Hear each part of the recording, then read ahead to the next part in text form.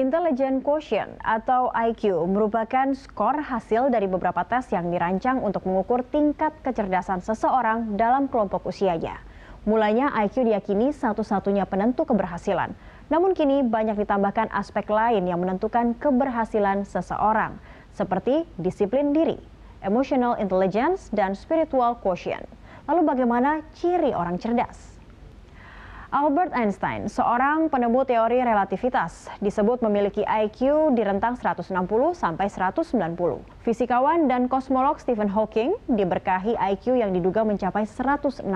Keduanya menjadi legenda karena pemikirannya berkontribusi terhadap keilmuan dan peradaban. Einstein penemu teori relativitas yang menjadi teori dasar dari seluruh pengetahuan fisika modern. Ia juga menemukan reaksi nuklir yang belakangan ia sesali karena telah memicu penemuan bom nuklir yang digunakan sebagai senjata perang. Sementara Stephen mengantongi gelar Lucasian Professor di bidang matematika. Kedudukan yang sama dan pernah diraih oleh Isaac Newton pada 1663. Salah satu karya Stephen yang fenomenal adalah A Brief History of Time yang dipublikasikan pada 1988 yang menjelaskan segala temuannya di bidang teori fisika termasuk pengembangan teori Big Bang. IQ atau Intelligence Quotient sejak pertama kali diperkenalkan pada 1869 oleh Francis Galton menjadi acuan untuk mengukur kecerdasan manusia. Metode ini kemudian menjadi alat utama yang digunakan di dunia pendidikan dan dunia kerja untuk menentukan seberapa cerdas manusia satu dengan lainnya. IQ rata-rata manusia berada di kisaran 90 sampai 109. Rentang 100 sampai 119 disebut di atas rata-rata. Adapun kategori superior antara 120 hingga 129 dan IQ 130 ke atas masuk kategori very superior. Orang-orang jenius biasanya memiliki IQ 145 sampai 164. Para penerima Nobel umumnya memiliki IQ di skala 145 sampai 165. Namun penelitian terakhir menentang norma yang telah mapan di dunia psikologi tentang bagaimana IQ menjadi lambang kecerdasan manusia. IQ hanya mewakili satu sisi fungsi otak manusia.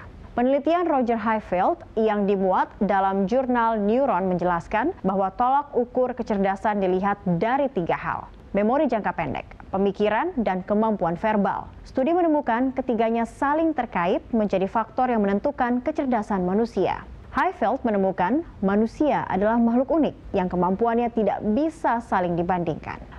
Klaim bahwa IQ tidak menentukan kecerdasan juga dibuktikan oleh Dr. Adrian Owen, Peneliti senior di Canada Excellence Research Chair in Cognitive Neuroscience and Imaging ini juga menemukan bahwa kecerdasan tidak ada hubungannya dengan genetik atau ras tertentu. Lalu dapatkah orang cerdas dikenali dari perilakunya sehari-hari? Penelitian yang dipublikasikan dalam Journal of Personality and Social Psychology menemukan orang yang berani mengkritik dirinya sendiri adalah orang yang cerdas. Orang cerdas menerima kekurangan dan menjadikannya dorongan untuk belajar lebih baik. Studi Universitas Michigan menemukan orang cerdas biasanya belajar cepat dari kesalahannya. Orang cerdas juga punya rasa ingin tahu yang besar. Ini jalan masuk menuju pengetahuan. Penelitian yang dipublikasikan dalam Journal of Individual Differences menemukan bahwa orang yang nilai IQ-nya lebih tinggi cenderung lebih penasaran dan terbuka terhadap gagasan baru mulai dari kehidupan sehari-hari hingga pertanyaan-pertanyaan filosofis tentang alam semesta. Penelitian di University of Pennsylvania menemukan orang cerdas cenderung mau melihat sesuatu dari perspektif lain ketimbang hanya menerima satu sudut pandang saja.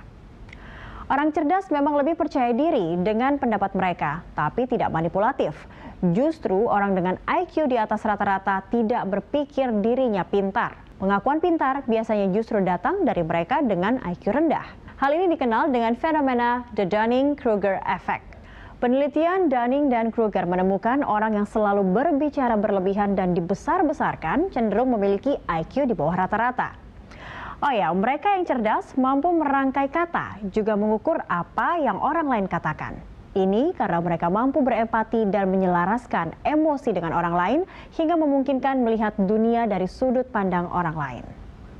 Penelitian yang dipublikasikan Psychological Science menunjukkan orang cerdas memiliki kontrol diri yang kuat dan bisa menolak keputusan impulsif.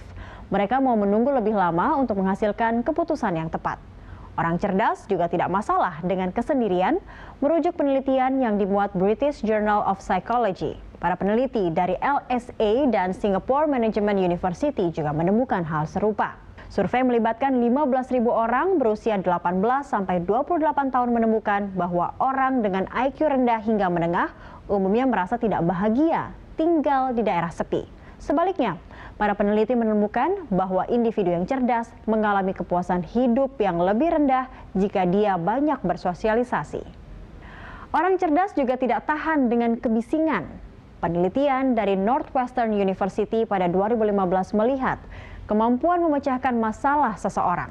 Para peserta mengaku bahwa mereka ingin mematikan suara bising yang tidak relevan untuk menghasilkan solusi kreatif dan inovatif. Orang yang terganggu dengan suara bising berarti bisa fokus pada dua stimulan sekaligus.